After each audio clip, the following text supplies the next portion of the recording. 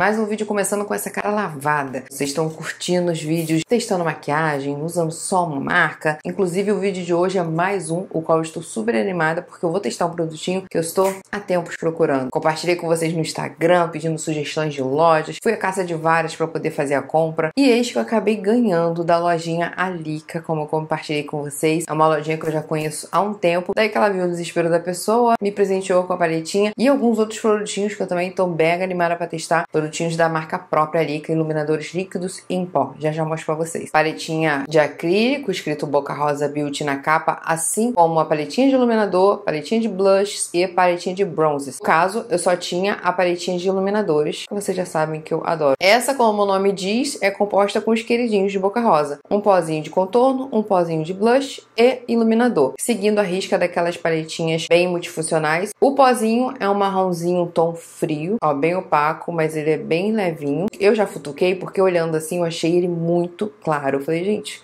não vai contornar nada no meu rosto. O blush tem um fundo pêssego douradinho. Lembra muito Hot Mama da T-Balm e o iluminador do trio do Boticário. Por fim, tem o pozinho iluminador, que é extremamente intenso, um iluminador muito pigmentado, muito bonito. E, se eu não me engano, é o tom do meio da paletinha de iluminador. Pelo que eu vi aqui, parece bastante. Cheiro de pêssego já sobe aqui no ar. Também tem cheirinho nessa paleta aqui. Todas as paletinhas dela tem essa, esse cheirinho frutal de pêssego. Mantendo essa vibe de vídeos utilizando apenas uma marca, eu vou fazer o mesmo nesse vídeo. Já que eu tenho alguns produtos da Boca Rosa que eu adquiri com o tempo aí, conforme ela foi lançando. Vou começar hidratando a minha pele, que eu esqueci. Passar um hidratante aqui como primer, hidratante pré-make da Nivea.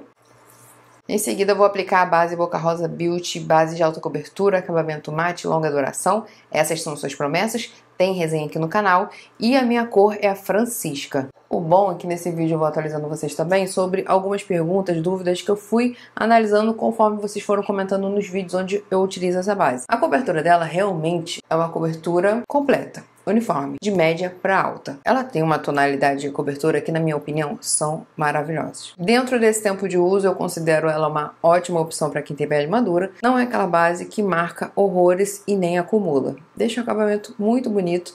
Inclusive, eu percebo que quando uso essa base, muitas de vocês comentam sobre a preparação da pele. No vídeo resenha, onde eu comentei dessa base, eu falei o quanto ela manchou na área do buço onde eu subo. Testando outras vezes no decorrer do uso, isso aconteceu mais algumas vezes, porém não tão aparente, selando com pó. A duração na minha pele é muito boa, não é uma base que deixa o aspecto mate secão, é um mate mais confortável, e eu julgo a dizer, ela é um pouco semelhante com a Aqua da Candice Berenice, a base hidratante, sendo que um pouquinho mais mate e com mais cobertura. Então eu julgo a dizer que essa versão da Boca Rosa tem uma pequena semelhança quanto ao acabamento, a performance da quem disse Berenice, pelo menos na minha opinião. Dito isso, bora pro corretivo. Tenho aqui os dois tons mais próximos do meu tom de pele, apesar de ter comprado as duas cores até atendendo a pedidos de vocês, porque eu vi que o leque de cores é bem pequeno. Tenho aqui a cor 01 Jasmine, que vocês já veem pela embalagem, que é super claro. E tem o 02 Peônia. Um é claro demais, o outro é escuro demais para rosado. Vocês sabem que eu gosto de corretivo até mais claro para poder não só camuflar a olheira, mas também iluminar. Mas esse aqui já ficou claro demais. Na época que eu comprei não tinha tester, não tinha como analisar a cor,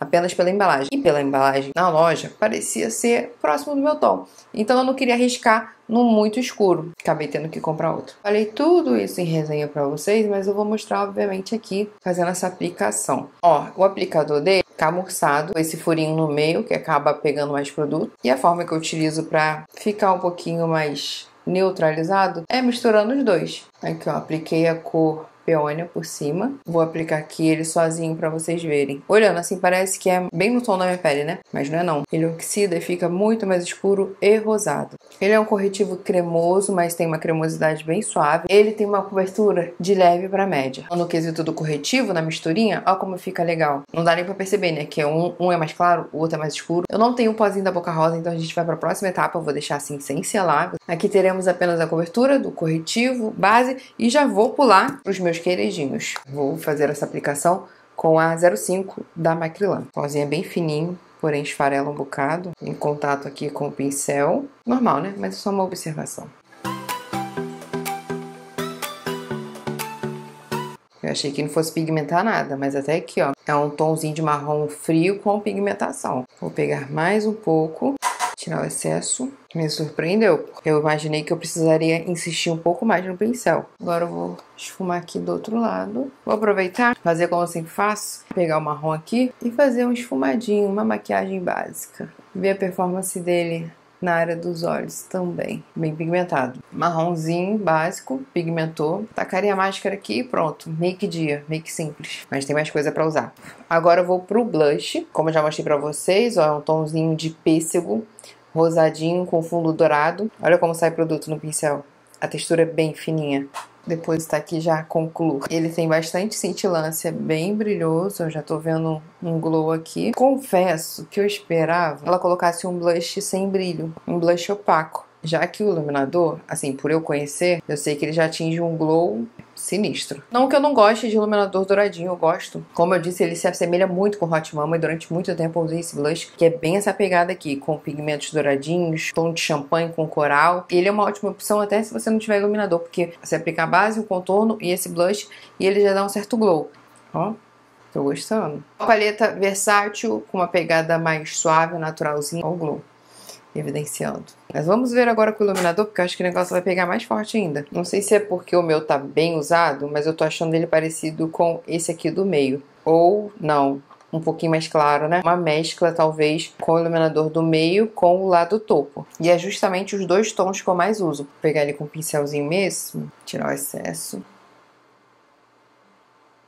Nossa, gente, o iluminador dela é coisa de louco. Bem cintilante, bem glow, bem sofisticado, assim, uma coisa mais espelhada. Eu acho até que eu pesei na mão, me empolguei um bocado. Não sei se é porque eu já uso há um tempo, já gosto, mas é um dos iluminadores mais bonitos. Se assemelha, inclusive, com algumas opções da Ruby Rose, mas eu sinto que essa cintilância dele, esse espelhado, é um pouco diferenciado.